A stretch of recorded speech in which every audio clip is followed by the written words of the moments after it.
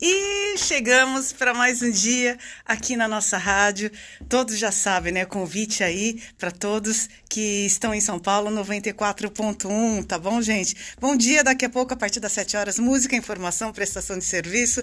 Tem o nosso tradicional café e também tem o quê? O nosso tema, né? E o de hoje é o seguinte: sabia que hoje é Dia Mundial da Atividade Física? Uhum, e por isso nossa pergunta ser temática. Vamos falar sobre atividades físicas. O que, que se faz? para se exercitar? Faz algum tipo de atividade? Vem aqui me contar. Por exemplo, faz uma caminhadinha, uma corrida. Tem gente que gosta, né? E fica postando, ai, corri 5K, 10K. Olha, admiro, viu? Parabéns. é, você pratica, sei lá, futebol, uma bolinha, né? Aos fins de semana com os amigos. Academia mesmo, é legal, né? Olha, eu admiro também. Não consigo. Viro sócia e não vou. Sou dessas.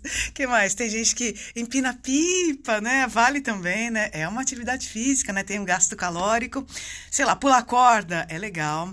É, ou seja, uma voltinha no quarteirão, ou uma atividade, não é exatamente atividade física, mas, por exemplo, você desce um ponto antes de chegar em casa só para fazer aquela caminhadinha. Vale também? Vale, né, gente? Então vamos lá. O que você faz para se exercitar é o nosso tema de hoje. Estou esperando por você, hein?